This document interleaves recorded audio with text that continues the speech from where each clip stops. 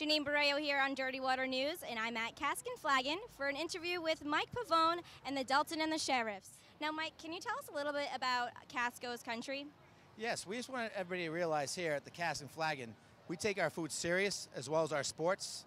Our chef Darnley creates some of the best menu items in house, whether it's our soups, our salads, our dressings, all made in house, as well as our handcrafted cocktails.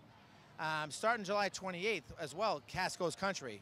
We're doing a block party here Sunday from 4 to 8. Why go home? Stay here later on that night and see what we're all about. I'm with Dalton and the Sheriffs for the Jason Aldean pre-show party. Now, can you guys tell me a little bit about Dalton and the Sheriffs?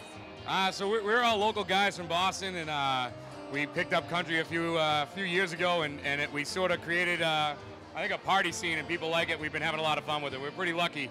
People come out to the shows and have a good time, so we've been having a good time with it. We just released our first CD, uh, Dal- it's Dalton the Sheriff, Little East of Broadway, and uh, it's gonna be in uh, Newbury Comics and on iTunes and stuff like that. So.